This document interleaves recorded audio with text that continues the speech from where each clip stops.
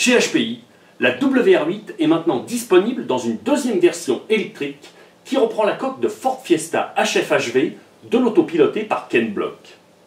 Un châssis très performant qui peut même se transformer en une bombe démoniaque lorsqu'il est alimenté par des accus 3S. Cette réalisation a donné naissance à une réplique parfaite de la voiture originale à l'échelle 1 pilotée par le virtuose du volant et de l'accélérateur, j'ai nommé Ken Block. Une version Flux de la WR8 qui reprend dans les moindres détails les contours et les formes de la carrosserie de Ford Fiesta HF HV du champion, mais aussi ses décorations originales puisqu'il s'agit d'une carrosserie en Lexan développée sous licence. Sous le capot, les utilisateurs découvriront une plateforme type piste à l'échelle 1 8 dotée d'un empattement très long et d'une mécanique préassemblée. L'auto jouissant par ailleurs d'un bon degré d'équipement pour aller de pair avec ses prétentions routières. Le mode de propulsion retenu étant ici électrique. Les points forts de cette WR8 Flux c'est tout d'abord son gros moteur brushless Vector signé HPI qui développe la bagatelle de 4000 kV.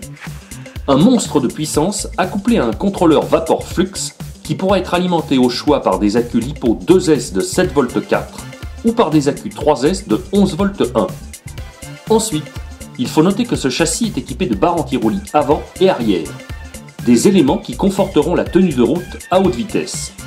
L'occasion de vous rappeler que cette WR8 peut atteindre les 100 km/h dans la configuration 3S. Cette auto pourvue d'un châssis en aluminium de 3 mm d'épaisseur reçoit une électronique étanche.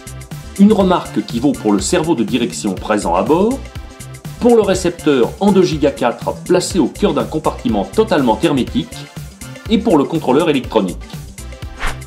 À l'avant, la cellule dispose d'une platine de suspension en aluminium de 3 mm d'épaisseur, dotée de deux ancrages pour faire varier la position des amortisseurs. On trouve encore au sein de l'équipement de série un imposant pare-choc de protection et des biellettes à pas inversées pour modifier le pincement des roues. À l'arrière, même topo, avec en supplément la présence d'une cale graduée qui permet d'ajuster le pincement. La cale d'origine estampillée du chiffre 3 est celle qui donne le plus de stabilité elle est préconisée pour des accus LiPo 3S. Une cale de 2 degrés est également livrée avec l'auto. Elle rendra l'auto plus vive avec des accus LiPo 2S. La WR8 Flux Ken Block HPI reçoit encore des pneumatiques Rallycross Spec qui conviendront sur la plupart des surfaces. Son bâtimoteur réglable permet de changer son rapport de transmission presque à la demande.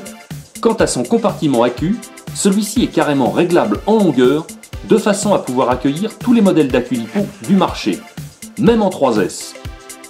À la direction, son cerveau met en avant un couple de 4,5 kg. La transmission centrale possède aussi un troisième différentiel réglable qui rendra sa tenue de route facile et précise. Cette auto est livrée avec le nouvel émetteur HPI TF11 qui revêt la forme d'un pistolet. Celui-ci dispose des réglages les plus indispensables et des 4 piles nécessaires à son fonctionnement. Pour remplacer les piles, rien de plus simple. Il suffit d'exercer une pression suffisante pour déplacer le cache de la crosse et le tour est joué. Jouissant d'une finition irréprochable, ultra puissante, cette WR8 Flux Ken Block HF-HV est la voiture la plus puissante jamais conçue par HPI. À consommer sans modération.